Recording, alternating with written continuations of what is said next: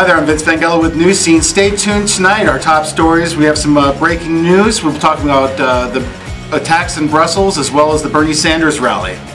Also in entertainment, you'll have Stephanie Alvarez tuning you in, and with sports, Brian Jeffries. And don't forget, we'll bring you your spring break forecast